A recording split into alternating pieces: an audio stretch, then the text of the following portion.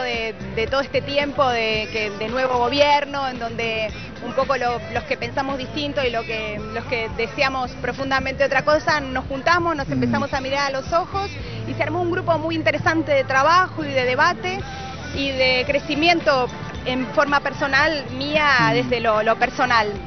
Y desde ahí se empezó a hacer sobre todo autocrítica sobre las cosas que por ahí no habían salido del todo bien y cuáles eran los problemas. Y bueno, desde ahí se conformó un grupo hermoso en el que hay no solo actores, sino que hay músicos, productores, directores, hay gente de la política, gente de la cultura, eh, de todo, sociólogos, psicólogos, de todo. Eh, y bueno, desde ahí eh, pensamos en, función de, lo que la gente o de determinadas personas o parte de la población está necesitando. Y bueno, desde ahí este, surgió esto, surgió esto de, transmitir a partir de lo que nosotros sabemos, lo que nosotros deseamos comunicar.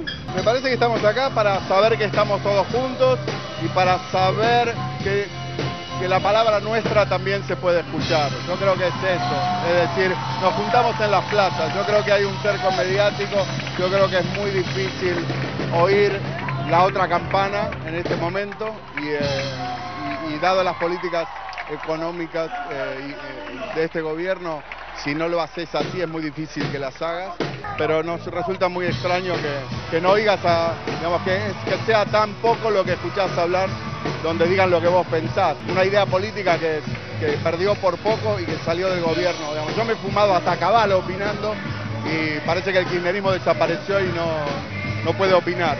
Entonces para nosotros juntarnos es saber que estamos acá. Lo estamos viendo a Fito Paz, en este momento es una convocatoria de artistas.